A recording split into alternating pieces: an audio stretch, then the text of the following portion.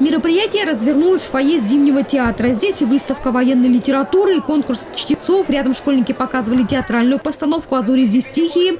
Другие участвовали в викторине «Знатоки истории Великой Отечественной войны». Многие ребята останавливались у экспозиции «Сочи. Город-госпиталь». Это все-таки наша история, поэтому она должна интересна быть не только мне, но и каждому. Все должны ее знать. Я смотрю очень много документальных фильмов э, про войну. А, и мне очень интересно. А, в каждой семье очень много героев, и в моей семье, так, мою семью также война коснулась. Мои две бабушки, прабабушки, а, они перевозили оружие. Они прятали его под рыбу, под какие-то продукты и перевозили его незаметно на войну. А, а дедушка воевал, его взяли в плен, но он не сдавался.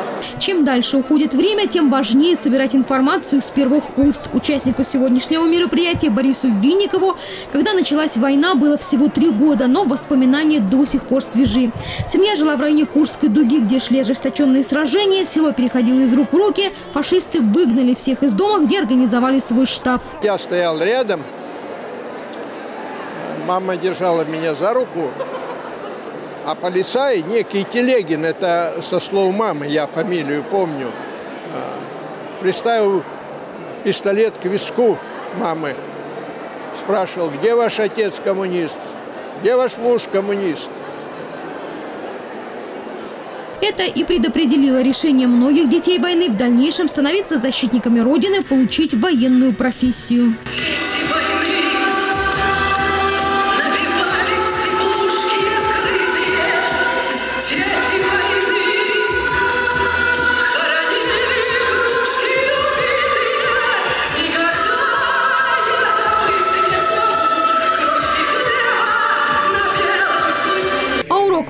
Мужества для сочинских школьников был посвящен сегодня двум эпизодам Великой Отечественной войны. Дню полного освобождения Ленинграда от блокады и 75-й годовщине окончания Сталинградской битвы. Уже совсем скоро мы будем отмечать 73-ю годовщину победы в Великой Отечественной войне.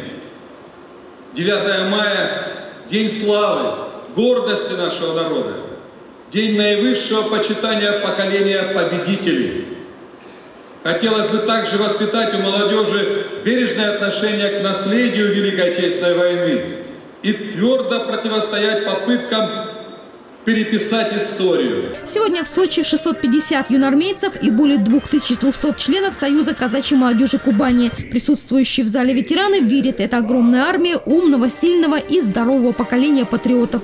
Елена Овсецина, Николай Тихонов, телекомпания «ФКТ».